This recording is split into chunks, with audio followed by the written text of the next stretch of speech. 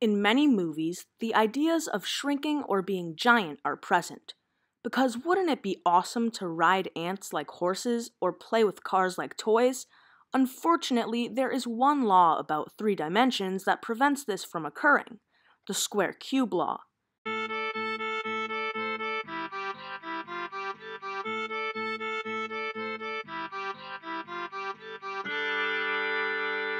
The square cube law is not just a law of nature or physics, but a law of math. It's very simple. When you scale up an object, not all of its properties scale evenly. Depending on how many dimensions the property has, it will have a different scale factor. Scaling a line up by 2 doubles its length, while scaling a square up by 2 quadruples its area. This is because you can imagine area like two lengths multiplied together, so scaling up by 2 is really scaling up by 2 twice. For a cube, the scale up is by 8 because volume would be 3 lengths multiplied together. So scaling up by 2 thrice is 8. This gives us a simple equation. Scale factor to the power of dimension equals increase in value.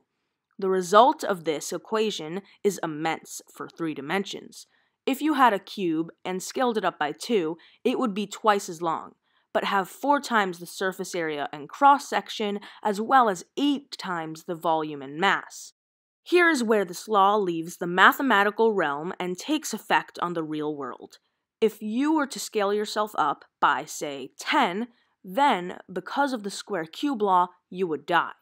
You see, at 10 times larger, your bones and muscles are a 100 times stronger because strength is based on cross section. But you would weigh 1,000 times more, meaning that your legs and arms would be 10 times weaker comparatively. Just standing up could snap your legs, but you would be so weak that you couldn't stand up anyway. Also, the rate at which you lose body heat is determined by surface area because you can only lose heat at your surface.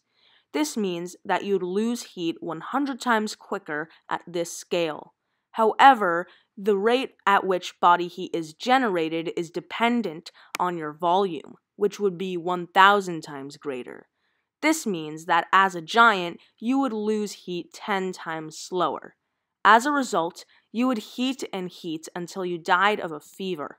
On the other hand, is shrinking. If you shrank yourself by 10 times, then the exact opposite results of growing would occur. When it came to strength, you would be 100 times weaker, but 1000 times lighter. This means that relative to your body weight, you would be 10 times stronger. Where body heat is concerned, however, you would not be much better off than when growing. You see, with 100 times less surface area but 1000 times less volume, you would lose body heat 10 times faster and freeze to death.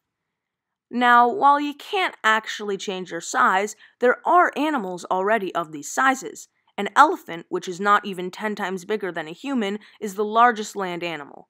Because big things are weaker, elephants have very wide, strong legs to support themselves. Also, their cells are much less active, so they generate less body heat. Comparatively, ants have incredibly thin legs. Bugs in general have legs that seem incredibly thin compared to their body size. Yet ants can carry many times more than their own body weight. Their cells are also a lot more active to generate more body heat.